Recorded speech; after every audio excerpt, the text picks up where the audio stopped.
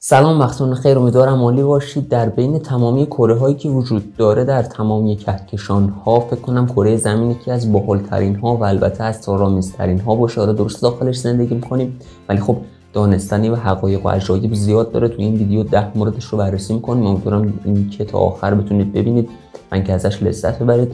یه توضیح بدم در مورد ویدیوهای کلی کانال. توی این کانال ما در مورد حقایق عجایب و دانستنی ها توی مسائل مختلف صحبت می‌کنیم. اگر روی مدل ویدیو علاقه دارید این پایین می‌تونید subscribe بکنید و اینکه سفر بکنیم به کهکشان ها البته همین نزدیک کره زمین خودمون و دانستنی های باحالش. اولین مورد خیلی خیلی باحال باورتون میشه یک دوره در تاریخ وجود داشته که روزها یعنی هر روز تقریبا 6 یا 7 ساعت بوده. حالا میگید خب مثلا چند سال پیش در حدود میلیون ها سال پیش چنین اتفاقی افتاده و بعدا در طول زمان این روزها طولانی تر شدن و الان به حدود 24 ساعت رسیده. الان هم میگن هر 100 سال یه بار دو ثانیه روزها بزرگتر میشن و چند میلیون سال آینده روزهای طولانی تری خواهیم داشت. ولی خب این هفت ساعت بودن یک روز خیلی نکته باحالی بود. به عنوان دومین مورد خیلی خیلی باحال در مورد کره زمین باورتون میشه اگر روی خط استوا وایسید و خودتون رو وزن می‌کنید در حدود نیم درصد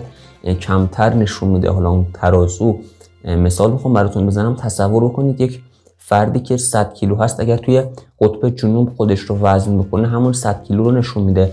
ولی اگر بیاد توی خط استوا یعنی روی خط استوا و این کار رو انجام بده نیم کیلو کمتر نشون میده. نکته خیلی جالبه ولی خب خیلی فکر نمی کنم این نیم کیلو عدد قابل توجهی باشه ولی همین تفاوت نکته جالبیه. رسیدیم به مورد سوم. در مورد کره زمین باورتون میشه تمامی افرادی که روی کره زمین زندگی می‌کنن دارن صرفا از 10 درصد آب شربی که وجود داره استفاده می‌کنن. خب الان احتمالا سوال میشه که خب 90 درصد مابقی کجاست؟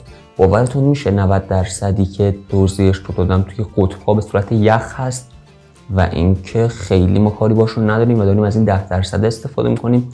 اسم قطب اومد یه ویدیو خیلی خیلی باحالم در مورد قطب داریم. لینکش بالا هست اگر خواستید به اونم سر بزنید. با عنوان مورد چهارمی که حالت آماری داره عمیق ترین منطقه ای که توی کره زمین وجود داره توی اقیانوس ها یک جایی هست با عنوان ماریانا ترنچ اسمش یک کوچولو سخته و اینکه در حدود 11 کیلومتر عمق آب هست. عمیق ترین جا روی کره زمین. توی اقیانوس ها همین منطقه است. توی اقیانوس آرام زیاد در موردش توضیح ندیم. یه ویدیو داشتیم در مورد اقیانوس ها در مورد این ماریانا ترنچ هم شاید یه ویدیوی متفاوت داشته باشه به عنوان پنجمین مورد خب قبل از باریدن بارون یکی از صحنه های جالبی که می‌تونید ببینید رد و برق یا همون ساقه هستش. باورتون میشه توی هر دقیقه در کره زمین 6000 تا از این ساقه ها اتفاق میفته یعنی همین یک دقیقه که داشتید این ویدیو رو می‌دیدید. 6000 تا از اون ساقه های باحال اتفاق افتاده. خیلی خیلی نکته جالبیه. ولی خب تقریبا خیلی کم اتفاق میفته که ما بتونیم ببینیمش. ولی خب توی کره زمین می‌تونه که 6000 تا باشه. به عنوان ششمین نکته خیلی خیلی باحالی که در مورد کره زمین بررسی می‌کنیم خب احتمالا به فاصله این کره زمین مثلا و خورشید فکر کردیم ولی نکته خیلی خیلی باحال وجود داره در مورد اینکه چقدر زمان لازمه تا نور خورشید به کره زمین برسه. در حدود 8 دقیقه و 19 ثانیه میگن زمان لازمه تا این فاصله طی بشه. حالا درسته با سرعت نور و سرعت خیلی خیلی بالایی داره حرکت می‌کنه ولی خب تصور بکنید این فاصله چقدر زیاده که در حدود 8 دقیقه و نیم زمان لازمه که نور خورشید از خورشید به سطح کره زمین برسه. هفتمین مورد خیلی خیلی باحالی که بررسی می‌کنیم به زیباترین پدیده طبیعی رو کره زمین برمیگرده. شفق قطبی یک توضیح در مورد اینکه چطوری اتفاق میفته داده بودن. یکم بحثش تخصصی میشه ولی خب حالت کلیش اینه که نور خورشید با برخورد کردن به اتمسفر دور زمین اتفاق براش میفته البته فقط توی قطب هم هست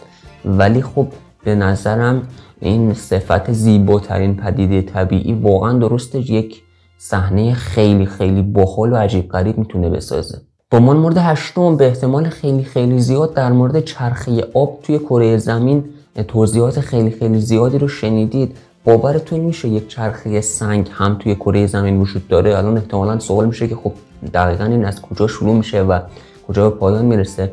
در حالت عادی خب یک سری جاها هستن که آتش ها فوران می‌کنن و یک سری سنگ رو بیرون میریزن. بعد بعد از یک دوره که میگذره این ماگما به سنگ تبدیل میشه و خب شما یک سنگ رو دارید می‌بینید. بعد از این توی حالت تخریب یا فرسایشی که اتفاق میفته به خاک تبدیل میشه. و توی چندین سالی که میگذره این خاک به داخل زمین کشیده میشه و باز به همون حالت ماگمایی که اولش بود برمیگرده. شاید ظاهرا تعریفش خیلی خیلی ساده باشه ولی در عمل این چرخه نکته خیلی خیلی جالبی رو می‌تونه توضیح بده در مورد همین کره زمین. رمان نهمین مورد خیلی خیلی باحال در مورد کره زمین. خب ما رشته کوههای خیلی خیلی باحالی رو روی سطح خشکی داریم توی کره زمین ولی باورتون میشه بلندترین و طولانی ترین رشته کوهی که وجود داره زیر آب هست و در حدود 65 هزار کیلومتر طولش عدد خیلی خیلی بزرگه توی اقیانوس اطلس هست و اینکه توی مناطق جنوبی کشور ایسلند یک جاهای ارتفاعش به حدود 5.5 کیلومتر می‌رسه. اینم خیلی خیلی جالبه با وجود اینکه بلندترین نقطه توی حالت خشکی روی سطح خشکی حدودا 8000 تاست.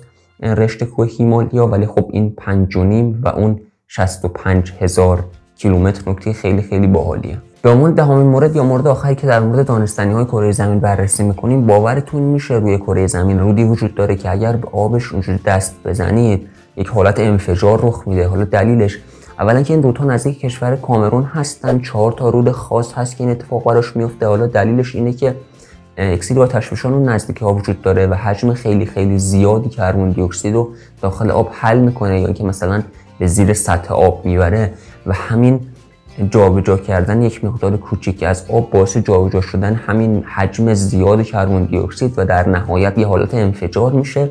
در عمل نمی‌دونم ویدیویی ازش موجود هست یا اینکه اون انفجار چجوری رخ میده ولی خب دلیل خیلی خیلی باحالی داره ولی از یه طرف هم خیلی ترسناک و باحال می‌تونه باشه.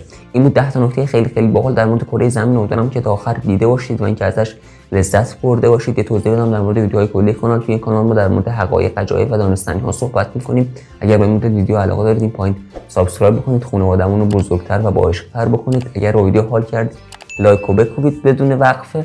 و اینکه امیدوارم همیشه در زندگی خلاق پر از انرژی مثبت کلی حال خوب و عشق باشید. این نوتا ویدیو رو از دست ندید. ویدیو خیلی خیلی جالبی هستن. خدا نگهدارتون.